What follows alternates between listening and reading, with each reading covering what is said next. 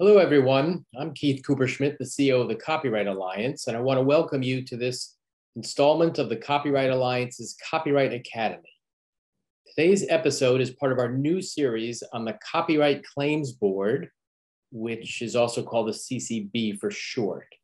Now, in this series, the Copyright Alliance staff will take an in depth look into the processes and the procedures of the CCB for copyright owners who are looking to understand more about the CCB.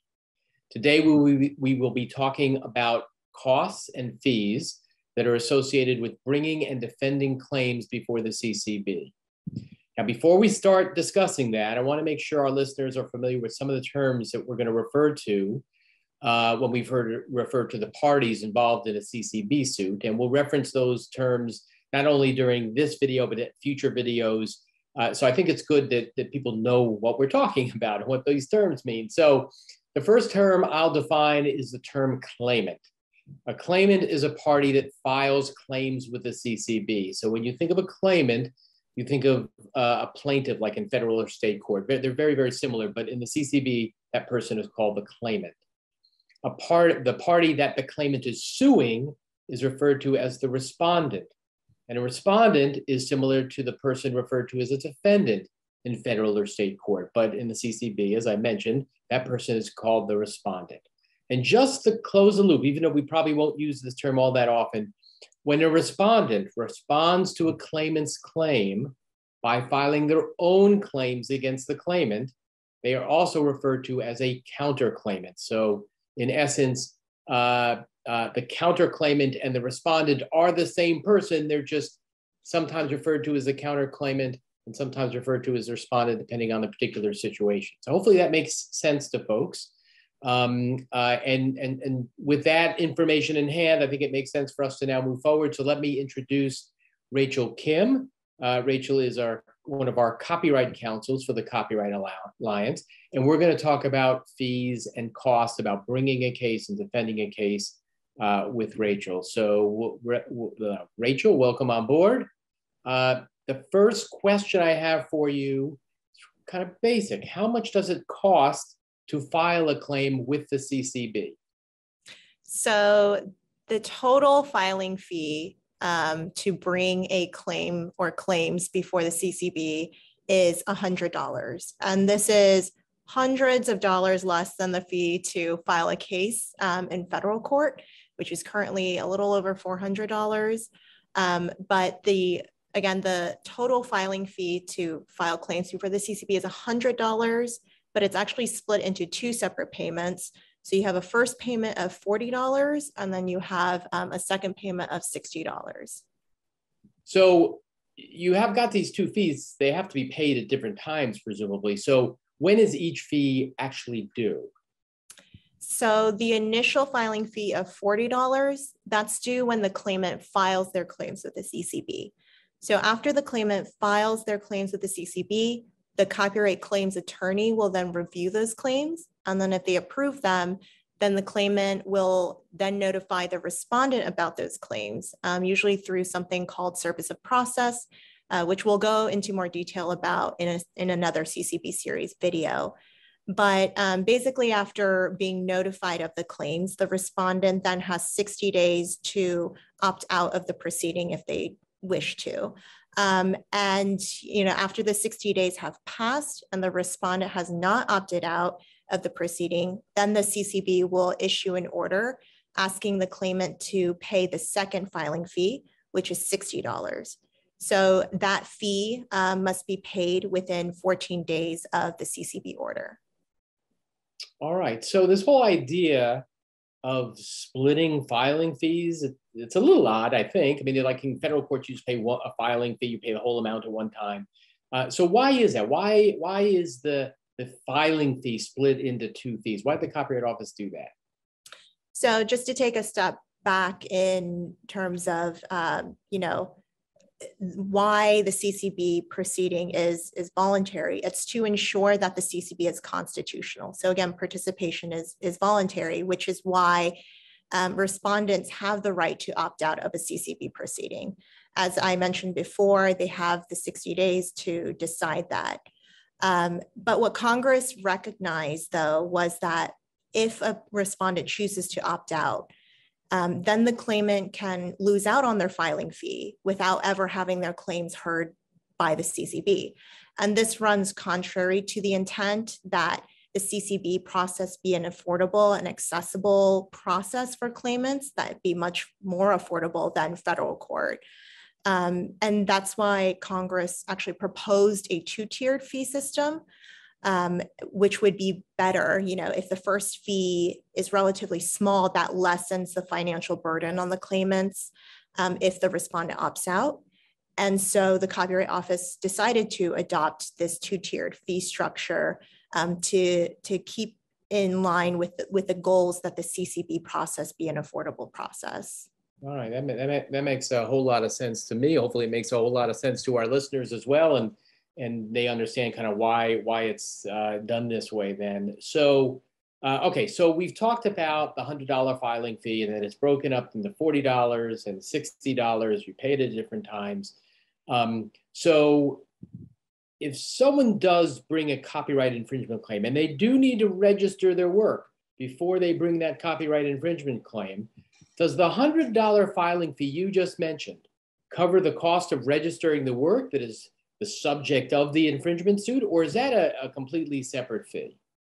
So the the cost or the fees to register a work is completely separate from the CCB process. Um, so we'll discuss sort of the processes and then and the procedures of filing claims with the CCB in another CCB series video. Um, but basically for an infringement claim or counterclaim, Keith, as you mentioned, um, it can't be filed with the CCB unless the copyrighted work that is the focus of that claim has actually been registered with the US Copyright Office or the registration application is pending with the Copyright Office. Um, in most cases, and in many cases, the copyright owner of the work may have already registered the work well before bringing the infringement claim or counterclaim. Um, but for copyright owners who have not yet submitted a registration application for the work, they can submit the registration application to the Copyright Office um, be, you know, immediately before filing their claim with the CCB. Again, just to be clear, the fees to file a registration application with the Copyright Office, again, those are separate from the CCB rules and proceedings. And so the registration fees um, will depend on the characteristics of the work. So we're talking about, you know, what type of work um, the, the copyrighted work is or works. If there are groups of works being registered together, um, the publication status of the work or groups of works. Um, so the cost can usually range between $45 right now to about $95 for filing an electronic registration application um, or for filing a registration application for a group of unpublished works. And uh, the exact schedule of registration fees is actually available on the Copyright Office's website. Um, we'll provide a link on the screen below. Um, but you can also learn more about the actual registration process um, of registering your works in our Copyright Academy video about registration. Um, but lastly, regarding you know, copyright registration, it's important to note that in any case, the CCB cannot make um, a final decision in a proceeding until the work or works in the proceeding are registered with the US Copyright Office. So that means, you know, if during the proceeding, your pending application um, is being reviewed by the Copyright Office and the Copyright Office you know, decides to deny the registration, then the CCB will actually dismiss the proceeding. Um, but you know, in in many instances, they'll accept the registration applications. It's pretty rare to to deny the registration application, um, but it's just something to keep in mind um, while moving through the proceeding.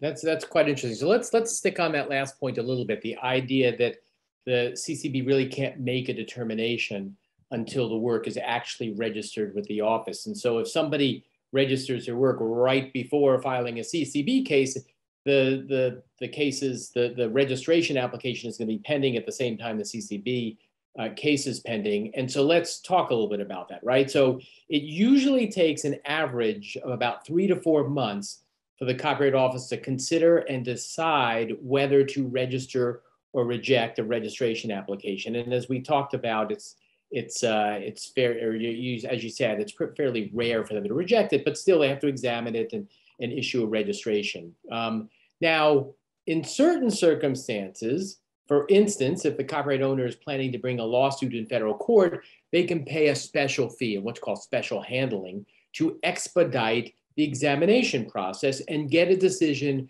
within just a couple weeks, maybe even less than that, right? So they can they can really truncate the registration examination time. And normally that fee is $800. That is a big chunk of change, right? I mean, that is a lot more than the CCB uh, processes, uh, you know, process costs in itself. So um, my question is, is there a different expedited review fee for an application to register a work when that work is involved in a CCB proceeding? So in other words, instead of doing regular special handling, you could do, um, uh, uh, you know, you could you could you know use this expedited system that the CCB process has. And if that fee is different, how much is that fee? And how would somebody apply for that expedited registration? So, great question. Um, yes, there is a different fee um, for an expedited review process for a work or works that are part of a CCB proceeding. And that fee is actually much less expensive than the $800 um, you were mentioning um, it's actually $50 um, in the case, again, for a work or works that are part of a CCB proceeding, so an expedited review of a registration for those works. Um, so in this case, though, the copyright owner would actually request the expedited registration through the ECCB system. Um, and you know, to that effect, there are two important things to keep in mind when making this expedited review request. So first, this request can only be made once the case becomes active. So again, we mentioned before that respondents have this right to um, opt out um, within a 60 day period. But once that 60 day opt out period ends and the respondent has not opted out, the case would move forward and the case becomes active. So again, the request for expedited review can only be made once the case is active. And then the second thing to keep in mind um, is that the request, again, must be made through the ECCB system and not the regular Copyright Office registration system. Um, and then in terms of a turnaround timeline, uh, the CCB regulations state that the Copyright Office will aim to complete the expedited review within 10 business days. Um, so that's you know shorter than the timeline for a regular expedited review um, that Keith mentioned. Um, but again, this is sort of the office's goal to do um, the, the expedited review within 10 business days, again, for a work that is part of a CCB proceeding.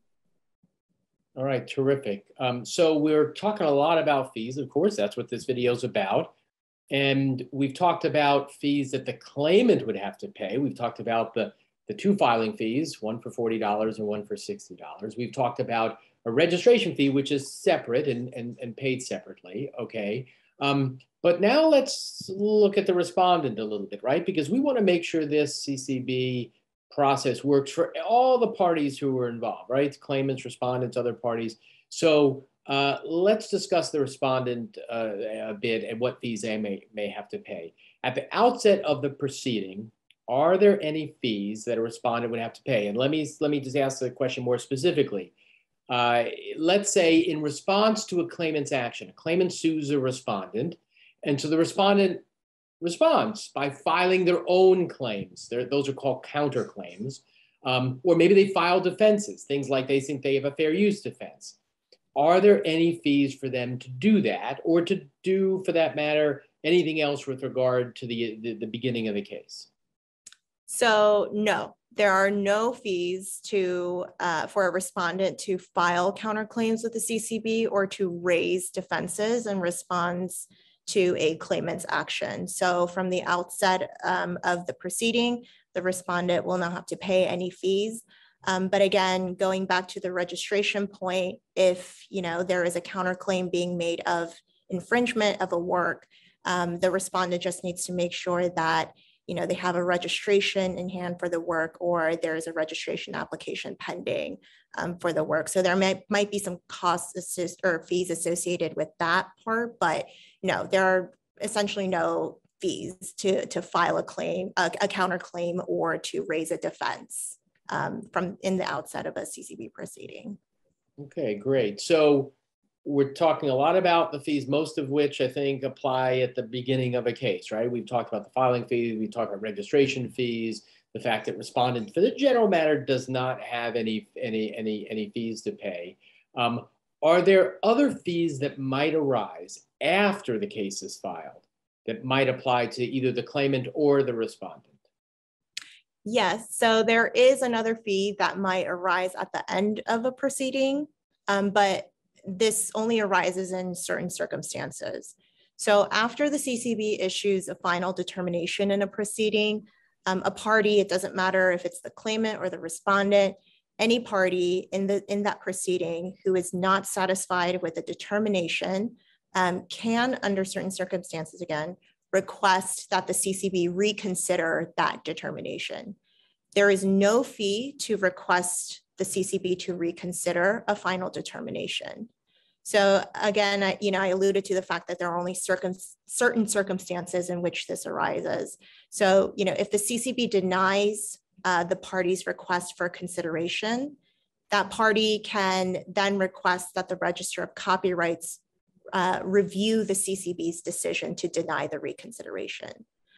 Um, in another situation, if the CCB grants the request for reconsideration, changes the final determination, and the opposing party is not satisfied with that changed final determination, the opposing party can also request a reconsideration um, of the new final determination uh, to the CCB. Again, there's no fee associated with that. Um, but if the CCB were to deny that opposing party's request, then that party can also request that the register review the CCB's decision to deny the request. In both cases, whenever any of the parties request the registrar's review after they've, they've gone through these, these uh, circumstances and these processes, there is a fee to request the registrar's review, and that fee is $300. So it's not a light fee at all, um, but you know it is uh, it, it is a fee uh, to to request uh, the registrar's review in, in any case. Okay, so and for those of you listening I think you, you might have been with us the whole time, and then all of a sudden the, the answer to that question you lost us lost us a little bit perhaps because we were talking about a lot of things that first of all are unlikely, probably unlikely to happen, and if so, would happen at the very very end of the of, of a case at a determination. And so um, I encourage you if you want to find out more about that, you know we have a guide, a CCB guide that uh, will be helpful. The Copyright Office has some materials there to be helpful but it, but just if you were a little confused by that last answer, don't let that that stand in the way of, of filing a case or anything like that. This is mostly about fees, and in order for us to explain that fee, we had to explain how, how kind of what what that fee is. And so um, now, the, other than the fees we discussed, I think we're kind of we kind of exhausted the topic. But are there other potential costs that someone involved in a CCB case might incur? And what, so, what are those?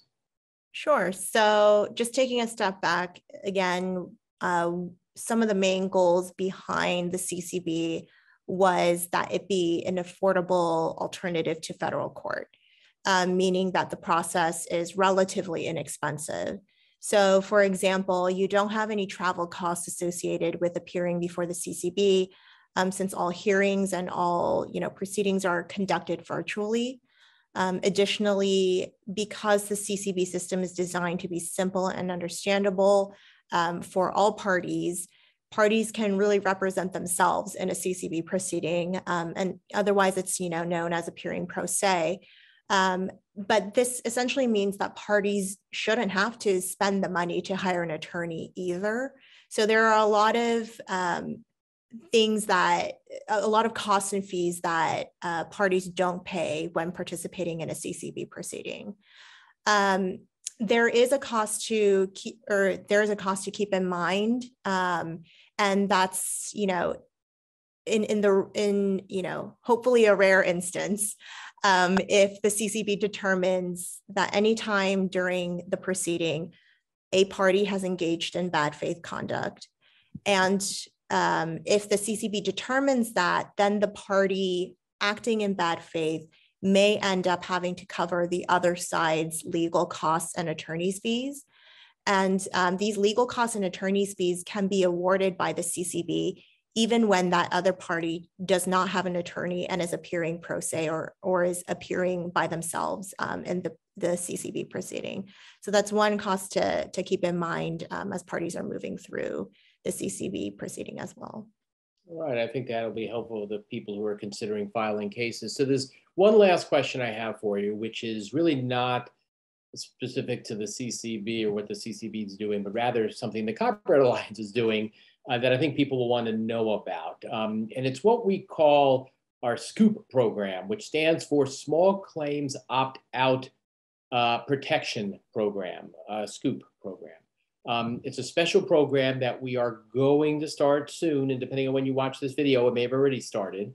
Uh, and participation eh, participants in the program can get their initial $40 fee. Remember, we talked about that $40 filing fee? They can get that filing fee reimbursed if the respondent opts out of the proceeding. So maybe you can discuss that program, tell everyone where they can find out more information about it and why we're doing it and, and how to apply. Sure. So uh, we're happy, very happy at the Copyright Alliance to announce that we're going to launch this program. Um, either it's been launched if you're watching this video or it's launching soon. But uh, regardless, you know, the Scoop program is a new program we're very excited about. Um, and it's to help individual creators counter that potential loss of that $40 initial filing fee. Again, like Keith mentioned, if their CCB proceeding is dismissed by the CCB due to the respondent's uh, election to opt out. So what the Copyright Alliance would do through this program is to um, reimburse that $40 for applicants who have been approved to participate in the program. Um, and so interested, you know, potential um, applicants and potential claimants can learn more um, and learn more how to participate in the SCOOP program and apply to it um, on the programs pages of our website at copyrightalliance.org. Um, and applicants must be a member of the Copyright Alliance. Um, so if you haven't already, join the Copyright Alliance uh, to take part in this new program um, and to access, you know, a slew of other benefits and educational content like these Copyright Academy webinar series. Um, we have a lot more coming um, your way in terms of, um, you know, discussing and doing a deep dive into the CCB process, um, and other copyright law topics. Membership is completely free, so um, hope you can all join us. All right, thanks, Rachel. Um, and just about the Scoop program, I mean, we're not, just to be clear, we're not just handing out $40 checks. if you're interested in the program, take a look at the requirements and things like that. We want to make sure people who are filing cases understand the CCB, understand, you know, what's permissible and what's not a permissible claim, and and all the other sort of ins and outs of the of the of this of the CCB. So I encourage you if, if you're interested, and even if you're not interested in getting your forty dollars back, if you just want to know more about the CCB process, I encourage you. Obviously, you've listened to this video, but we have other videos, we have other materials that are up on our website, including I mentioned the the the guide uh, that we are in the process of updating right now. And like I said, when depending on when you're watching this, it may or the new version may of the guide may already be out. Um, so I want to, Rachel, thank you for doing this and answering a bunch of questions about costs and fees associated with filing a case or, or uh, with the CCB or defending a case um, before the CCB. Uh, and I encourage anyone who wants more information to go to our Copyright Alliance website or to uh, go to the Copyright Office website and just find out more information. Uh, there's a lot of information out there, educational information out there. So before you file a CCB case, uh, I encourage you to kind of learn as much about it as you possibly can. So thanks everyone. Thanks again, Rachel. Um, and uh, hopefully we'll see you in the next video, everyone. Bye-bye. Yeah.